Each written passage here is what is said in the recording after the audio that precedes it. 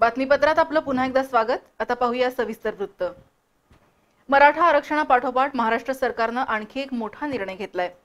राज्यातील सरकारी कर्मचाऱ्यांना नव्या वर्षात म्हणजेच एक जानेवारीपासून सातवा वेतन आयोग लागू करण्यात येणार आहे. अर्थराज्यमंत्री दीपक केसरकर यांनी विधान परिषदेच्या सभागृहात आज याबाबतची घोषणा केली. राज्यातील सतरा लाख सरकारी कर्मचाऱ्यांना आणखी सहा लाख निवृत्ती वेतनधारकांना या निर्णयाचा लाभ होणार आहे.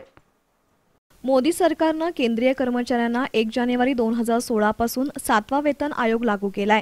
केंद्र सरकारच्या धर्तीवर महाराष्ट्र सरकारनं राज्यातील सरकारी कर्मचाऱ्यांना सातवा वेतन आयोग लागू करावा सहाव्या वेतन आयोगातील त्रुटी दूर कराव्यात या मागण्यांसाठी राज्य सरकारी मध्यवर्ती कर्मचारी संघटनेनं वेळोवेळी आंदोलनं केली.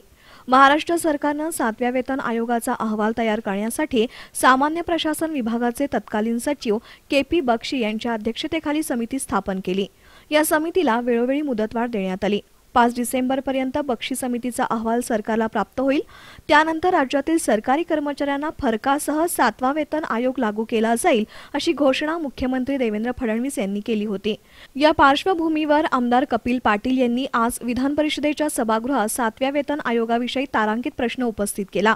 त्याला उत्तर देताना अर्थ राज्यमंत्री दीपक केसरकर यांनी राज्यातील सरकारी कर्मचाऱ्यांना एक जानेवारी दोन हजार एकोणीसपासून सातवा वेतन लागू करण्यात येईल अशी घोषणा केली.